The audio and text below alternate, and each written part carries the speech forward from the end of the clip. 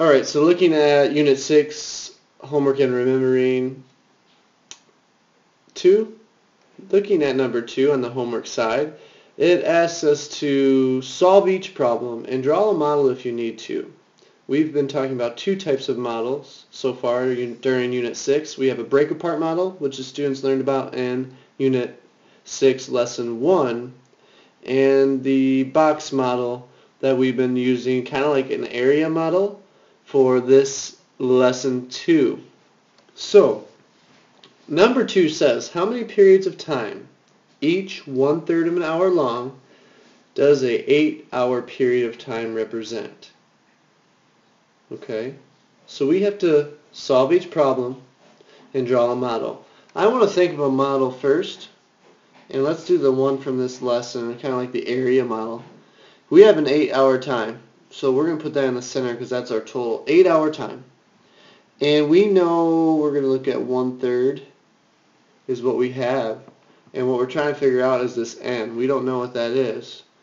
That's what we're trying to figure out. We're trying to figure out how many periods of time. So if we're trying to find n, solving this area problem here, if we look at it in this model, how do we find out n? If we set this up in an equation, what are we going to multiply? Are we going to divide? Are we going to add? Are we going to subtract? What operation do we use?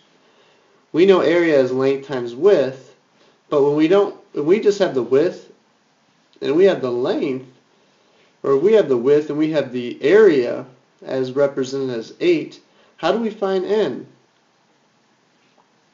How do we find that? Well, hopefully you're thinking of division because our equation to set up would look something like this. n equals, and this is a solution equation. Solution equation. Okay, because n is the solution. It's the variable that is the answer. When it's in the answer, not a um, dividend or divisor number or a product or an addend, when it's the answer, this is a solution equation. Because when we find n, it's going to give us the solution, the answer. So thinking of this would be n equals 8 divided by the number given, one-third. Hopefully you remember a little bit about division. We have to take the reciprocal, and that is, the reciprocal one-third is 3, and we take the opposite of division, which is multiplication. And this is easy for us now. 8 times 3 is 24. So there are 24 periods. Okay. So this is using our box, our area model to represent a solution equation here and then our answer. So when you write your answer, make sure that you have the solution equation on the line for number 2 and also the solution, what n is equal to. n is equal to n is equal to 24 because 8 times 3 is 24.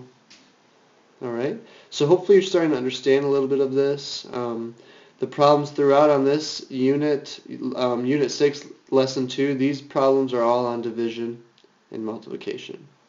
So good luck. I'll make sure you're working hard on the remembering side as well, showing all of your work. Have a good night.